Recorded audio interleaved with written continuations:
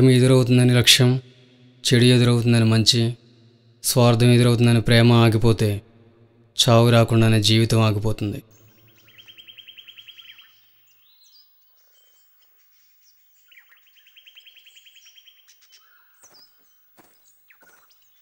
అరవింద్ ఏంట్రా ఇక్కడ కూర్చున్నావు మీ నాన్నని ఎదుర్కొంటున్నాడు. ఏంట్రాడు అలాగా ఉన్నావు? నువ్వు ఎందుకు డల్గా ఉన్నావు నేను చెప్పనా? మీ నాన్న బర్త్డేకి సైకిల్ కొనలేదనే కదా. మా నాన్న నా బర్త్డేకి కంప్యూటర్ కొన్నాడు.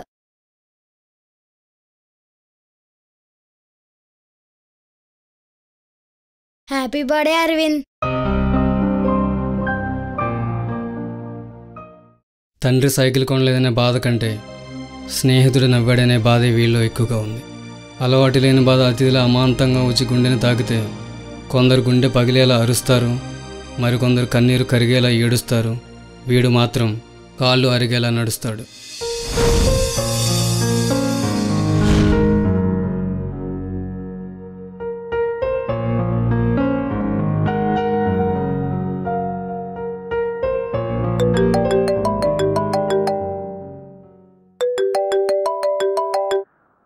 హలో చెప్పు. ఏం చేస్తున్నావు? ఇప్పుడే ఒక స్టోరీ కంప్లీట్ చేశా. వండర్ఫుల్గా వచ్చింది. ఈ కథతో బనీని కలిస్తే కళ్ళు మూసుకుని ఒప్పేసుకుంటాడు. ఆల్ ద బెస్ట్ అరవింద్ ఏంటి? డల్గా ఉన్నావు? ఎనీథింగ్ రాంగ్ ఇట్స్ ఓవర్ అంతా అయిపోయింది.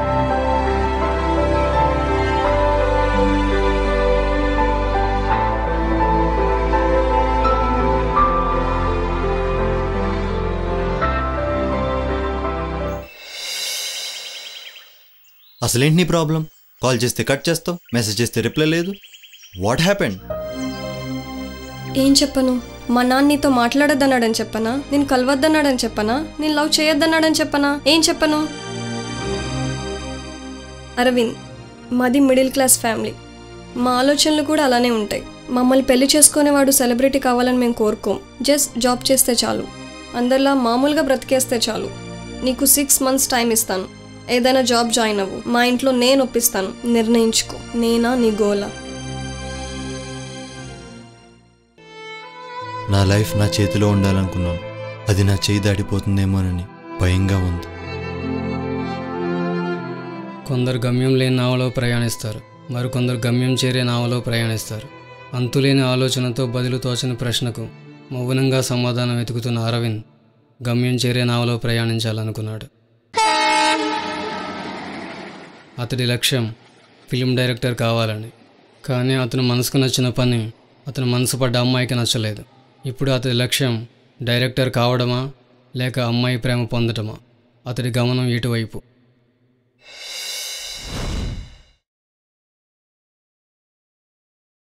సిక్స్ మంత్స్ అయింది. నాకు పెళ్ళి ఫిక్స్ అయింది. వన్ వీక్లో నిశ్చితార్థం. వన్ మంత్లో పెళ్ళి పేరు Naresh. Software one lakh salary double bedroom flat ఒక కార్.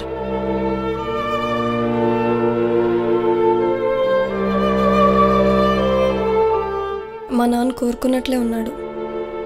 నువ్వు మాత్రం ఏం మారలేదు. అప్పుడు ఇప్పుడు ఒకేలా. ఏం చేద్దాం? విడిపోదాం. ఎలా? గతాన్ని మర్చిపోతూ భవిష్యత్తు ఆలోచిస్తూ. ఇది చెప్పడానికే నా లైఫ్లోకి వచ్చావా? వచ్చేమని తెలియదు. ఇలాంటి రోజు ఒకటి వస్తుందని.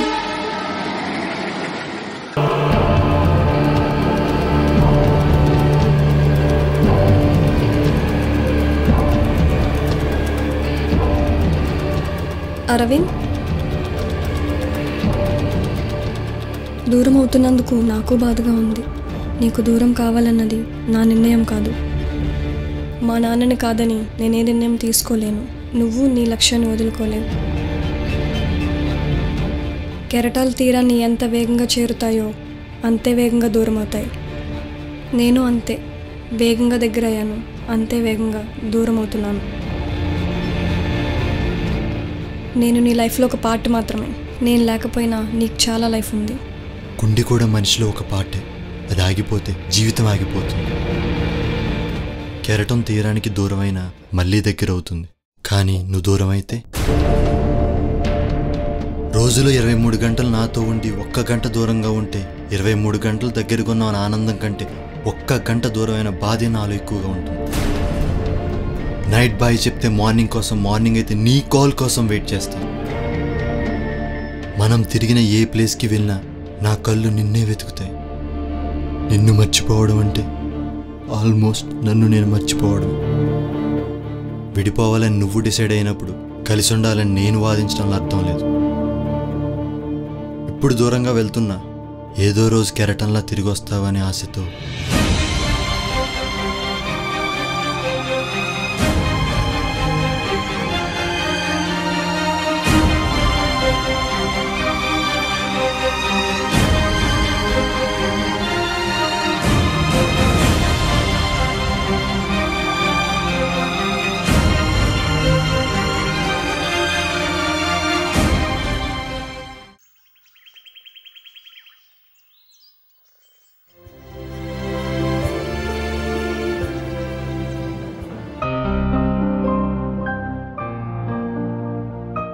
అంతా అయిపోయిన తర్వాత ఏడవడం దీనికి?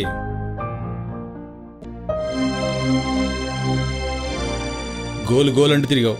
ఏంటి ఉపయోగం? చివరికి ప్రేమించిన అమ్మాయి దూరం అయింది అందరిలా ఉద్యోగం చేసుంటే అవంతి నా కోడలై ఉండేది. తనే నా కోడలని ఎప్పుడూ ఫిక్స్ అయ్యానురా. దూరం అవుతుందంటే బాధగా ఉందిరా. నాన్న ఒక తండ్రి తన కొడుకు పుట్టినరోజుకి సైకిల్ తెస్తానని షాప్కి వెళ్ళాడు. అతను అనుకున్న రేటుకి సైకిల్ లేదని వట్టి చేతులతో తిరిగి వచ్చేశాడు సైకిల్ కోసం కొడుకు ఏడుస్తుంటే అందని వాటి కోసం ఆశపడకూడదు సర్దుకుపోమని చెప్పాడు. ఆ రోజు నుంచి ఆ కొడుకు సర్దుకుపోవటం అలవాటు చేసుకున్నాడు. కానీ విచిత్రం ఏమిటంటే సర్దుకుపోమని చెప్పిన తండ్రే అందని దానికోసం ఆశపడుతున్నాడు. నువ్వు సర్దుకుపోనా అన్నా అదే మాట ఇప్పుడు చెప్తున్నాను రా. అందని వాడి కోసం ఆరాటపడకూడదు. ఆ సినిమా పిచ్చి వదిలి నువ్వు జాబ్లో జాయిన్ అవ్వు. అవంతితో నీ పెళ్ళి నేను జరిపిస్తాను రా నాన్న కాంప్రమైజ్ కావడానికి నాది కోరిక కాదు పిచ్చి కాదు. సినిమాయే నా జీవితం. ఎన్ని వరదలు వచ్చినా తుఫాన్లు వచ్చినా రైతు పంట వేయడం మానేయడు పంట ఎన్నిసార్లు పోయినా ఏదో రోజు చేతికొస్తుందని పండిస్తూనే ఉంటాడు. ఎందుకంటే పండించడం రైతు కోరిక కాదు పిచ్చి కాదు. అదే వాళ్ళ బ్రతుకు. నువ్వు డైరెక్టర్ అవుతావో లేదో గ్యారంటీ లేదు. నిన్ను నమ్మి ఎలా పెళ్ళి చేస్తాడు? మనిషికే గ్యారంటీ లేదు. మనిషి చేసే పని గ్యారంటీ ఏంటి నాన్న? నువ్వు ఓడిపోతే కాలం కాసేపు ఆగి నిన్ను ఓదార్చి వెళ్ళదురా. మనిషి మనిషిని ఓదార్స్తే చాలు నాన్న. కాలాలు దేవుళ్ళు అవసరం లేదు. అయితే ఈ పెళ్ళి జరగదంటావా? చివరి క్షణం వరకు గెలవాలని పోరాడేవాడే అప్పుడప్పుడు ఓడిపోతాడు. అలాంటిది ఓడిపోతామని పోరాడితే ఎలా గెలుస్తాం? ప్రేమలోనూ జీవితంలోనూ నీ కొడుకు గెలవాలని కోరుకోనన్నా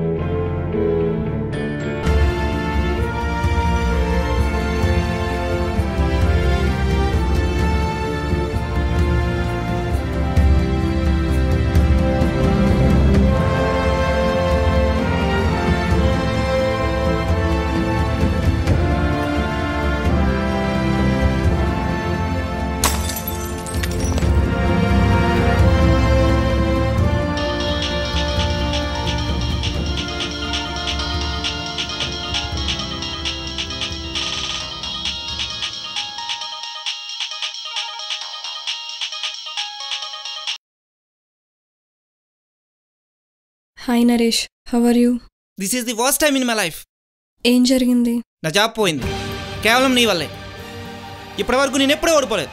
ఫస్ట్ టైం ఫస్ట్ టైం ఓడిపోయాను. నీది గోల్డెన్ లెగ్ అనుకున్నా. కానీ ఐరన్ లెగ్ అని నా జాబ్ పోతే కానీ తెలియలేదు. నిన్ను పెళ్ళి చేసుకోవాలనుకుంటేనే ఇలా జరిగింది. చేసుకుంటే నేనే పోయేవాన్నేమో నువ్వేం చేస్తావో నాకు తెలీదు.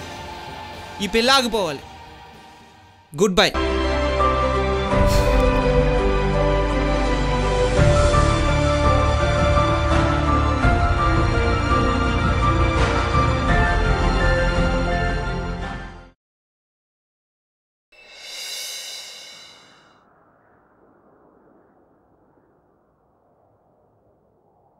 బాధగా ఉందని చెప్పను. చస్తూ బ్రతుకుతున్నానని చెప్పను. తప్పు చేసింది నేను. దూరం అయ్యింది నేను. చివరికి ఒంటరిగా మిగిలింది నేనే. తప్పు చేశాను అరవింద్. కష్టాలు లేనివాడు కావాలని వెళ్ళి ఎన్ని కష్టాలు వచ్చినా ప్రేమగా చూసుకునేవని వదిలి తప్పు చేశాను. వద్దనుకుంటే కష్టాలు ఆగవు. వాటిని ఎదుర్కొనే ధైర్యం ఉండాలి. జాబ్ పోయింది. దానికి సొల్యూషన్ ఆలోచించకుండా ఎస్కేప్ అయ్యి ప్రాబ్లం నేనన్నాడు. అటువంటి వాడు నాకే కాదు. ఏ అమ్మాయికి కరెక్ట్ కాదు. లక్ష రూపాయల జీతం ఒక కార్ ఒక ఫ్లాట్ బ్యాంక్ బ్యాలెన్స్ ఉంటేనే అమ్మాయిలు సుఖంగా ఉండరు.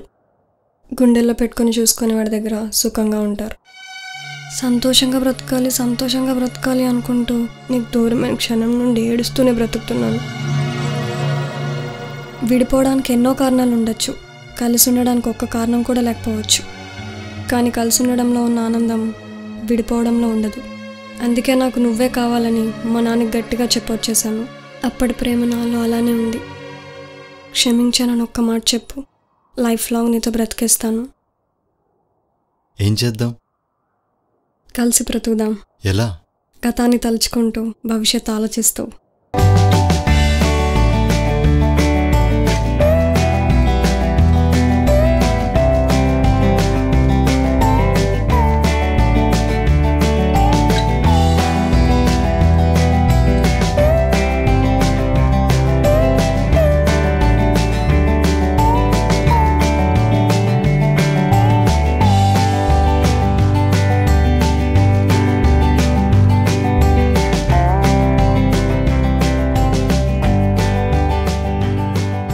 మీరు రమ్మంటే రావడానికి పొమ్మంటే పోవడానికి అబ్బాయిలు నా వస్తువులేంటే? నువ్వు నా బంగారం రా. బంగారం కూడా వస్తువేనే? అరవింద్ ప్రేమలో గమ్యాన్ని చేరాడు. ఇప్పుడు అతడి గమ్యం. Start camera action!